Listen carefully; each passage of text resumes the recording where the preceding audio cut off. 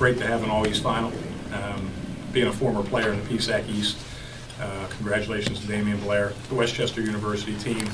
Uh, We've had three great games with them this year. Um, Commend them on a great season to this point. I have a feeling they'll be in the NCAA tournament as well. Um, And it's great to have an all-East representation. Um, but Proud of my guys. When you look at the stat sheet, um, that's only part of the picture. Having these four guys up here, we could have probably brought a few more, to play the style that we play, back-to-back days, contrasting styles when you have Mercyhurst that played a switching man uh, the entire game, tried to slow it down. Today was a little bit of a track meet. To be able to understand how to play in those situations and have two completely different games back-to-back, that's a tribute to my guys and the way that they play. Um, And also with the guard play that West Chester has, um, Shannon Givens, Troy Hockaday, they're tremendous. For us to turn that- that team over 26 times, that says a lot about our defensive effort and, the, uh, and the intensity of which my guys play. So I give my guys a lot of effort. Guys, it seemed like in the second half, we figured out something against their defense.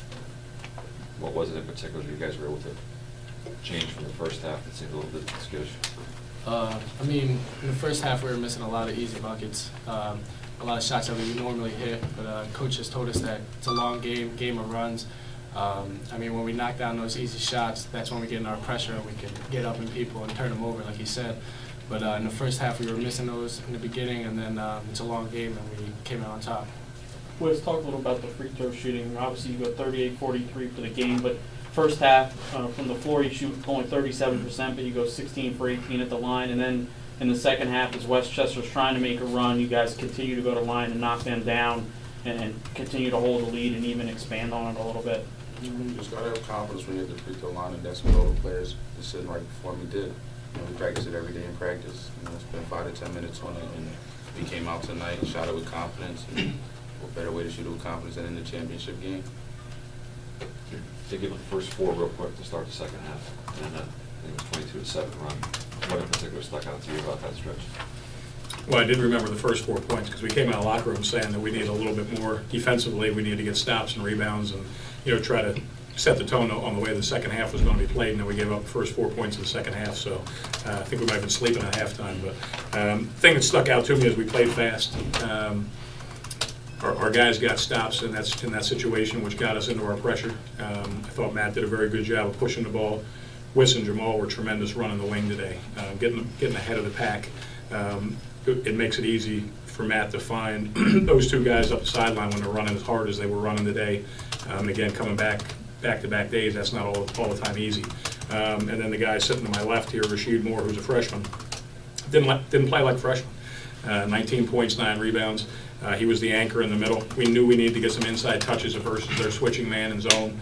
Um, he settled down in there and, and gave us some great looks. Um, we got it in there. He got the free throw line 12 times himself. So, um, you know, a guy like that playing as a freshman, uh, I think there's a lot of good years ahead of him.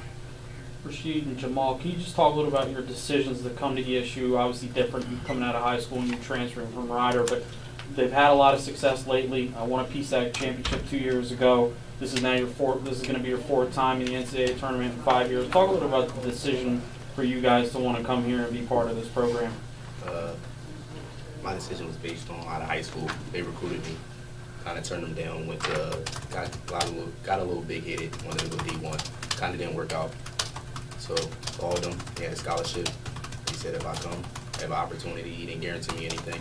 Came in, worked hard, gave me a shot, and I ran with it. So it was a good it was a good decision. Good atmosphere, good coaching. So. Same with me. He said he's, he never guaranteed me anything. He said if you wanted a good coach and you wanted to be coached, you can. All, uh, this is the place for you. If you don't want to be coached, this isn't the place for you. And that kind of made my decision up because.